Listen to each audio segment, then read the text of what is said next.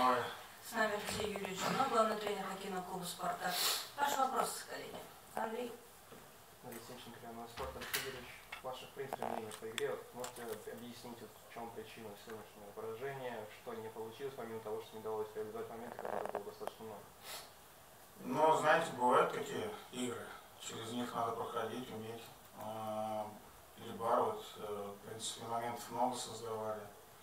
Но надо отдать должное вратарю соперник здорово сильно стоял. И, а, в принципе, игра была интересная. Я думаю, даже то, что у нас не получилось зависеть, к сожалению. Но а, надо просто использовать моменты. Я еще раз говорю, я сказал своим игрокам а, после игры, что такие игры будут, и будет их очень много, когда вот шайба не идет, моменты есть, надо проходить через это.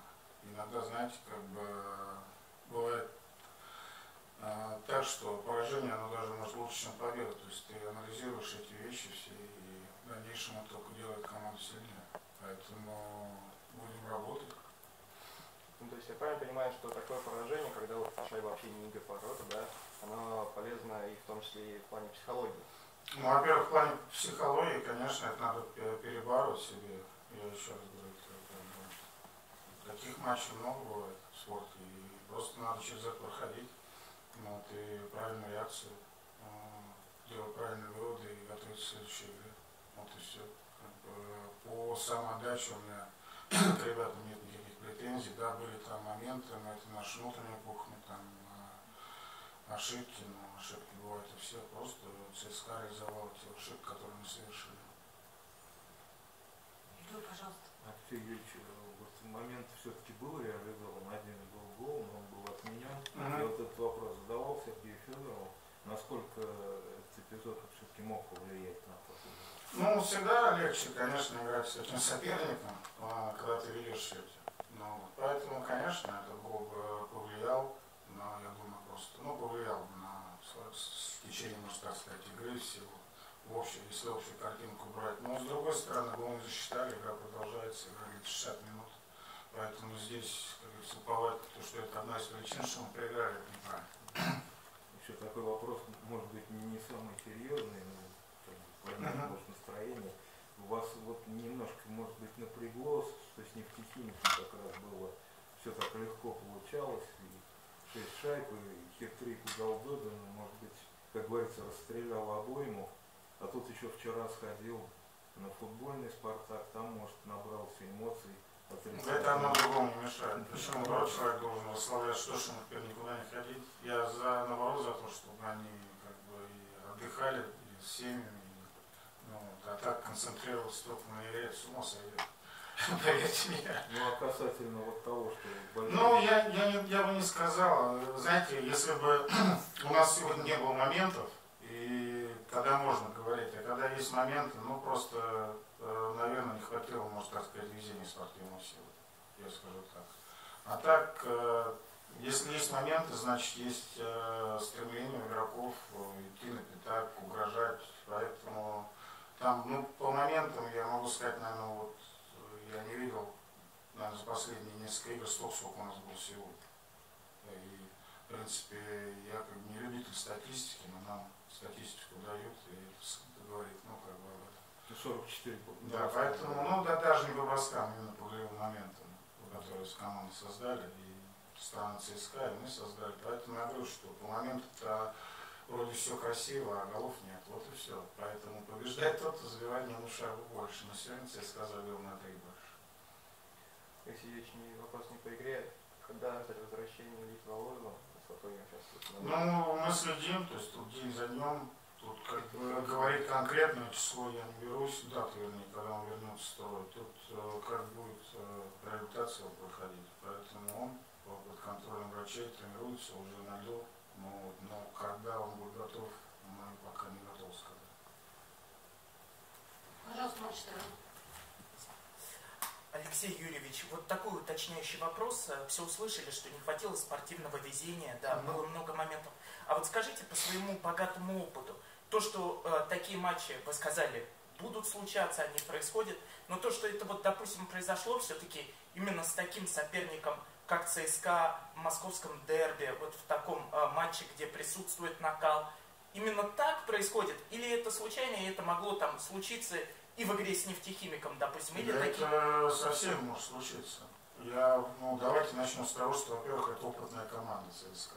Я уже говорил не раз на всех пресс-конференциях, что эта команда пять, пять лет подряд играет в финале. Конечно, у этой команды колоссальный опыт. И никогда не надо смотреть, где эта команда находится в турнирной таблице. Но вот это обман. Начнем с этого. Поверьте, эта команда выйдет в плей-офф и будет очень тяжело против нее играть, потому что это самая опытная, одна из самых опытных команд у нас в лиге. Но вот то, что касается нашей команды, вот вы меня говорят, спрашиваете, задаете вопрос, то может это быть не техник, да любая команда. Я просто говорю к тому, что а, для нашей команды это опыт. А Все-таки мы строим команду, и для нашей команды преодолеть эти трудности, это для нас э, как бы очередной вызов. Просто сегодня у нас не получилось, но мы, э, я еще раз говорю, мы учимся на этих всех ошибках, на этих всех нюансах, которые складываются в игре в каждой. И вот те а, моменты, которые мы создавали, конечно, мы должны их реализовывать. Но сегодня это не получилось. Я бы не сказал прям, что а, не везло конкретно, просто где-то не хватило хладнокровности, где-то не хватило, знаете, как завершения, а, можно так сказать, холодной головы. То есть, знаете, когда эмоции перехлестывают, и команда хочет отыграться, иногда чуть-чуть ты делаешь лишние движения в концовке. Поэтому здесь это, я думаю, что это для нас будет большой опыт в дальнейшем, и мы будем, как бы, еще раз говорю, разговаривать с ребятами, объяснять все эти нюансы. Поэтому здесь движемся дальше, а там, знаете, как, посмотрим. Спасибо. Коллеги, вопросы еще? А, пожалуйста, да? Я слышу вас, может, А, Да, я как могу задать. Но вот главное, конечно, было заметно, что ЦСКА очень мастеровитая команда. Да, и вот после этого матча уныния нету в команде, что невозможно с ними играть и дальше уже придвинувшись в плей-офф. Ну а как вы, ну а как мы, почему уныние-то? Мы с ними уже играли четвертый раз за последние Да, три месяца. И, в принципе, ребята знают, что это можно с этой командой играть. И даже сегодня проигранный матч, но я считаю, мы а, играли достойно. И, в принципе, ну, наверное, счет не по игре, можно сказать так. А, а то, что я не вижу, чтобы ребята а, как бы были в унынии и думали, что мы не можем с играть. Мы можем играть с любой командой, если мы играем правильно и выполняем те задания, которые должны они выполнять, ну, игроки, я имею в виду. А так, э, еще раз говорю, это только одна игра. Мы не проиграли, как говорится, знаете, говорят, мы проиграли только одно сражение, мы не проиграли войну. Мы идем дальше. Ну вопрос такой понятно, почему, потому что... Эта я- команда, ясно, Да, вы да. сами спросили, сами, можно сказать, Да, так да, ответили, да, что да, эта да, команда, да. конечно, мастеровитая. Ну, вот. У нас есть к чему стремиться, мы тоже в дальнейшем будем становиться еще мастеровитее после таких поражений. Ну да, и Будем ясно, делать правильные выводы. И Ясно, что они постепенно стараются набирать, да? Вот.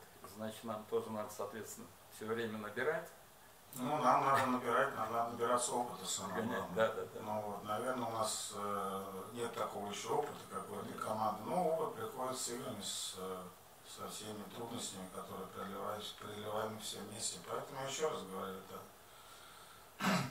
мы движемся дальше. Я считаю, что ничего страшного не произошло. Просто я говорю, иной раз поражение, оно лучше, чем победа. То есть надо сделать правильные выводы и проанализировать все. Вот и все. Да. И уверенность тренера передать команде, естественно.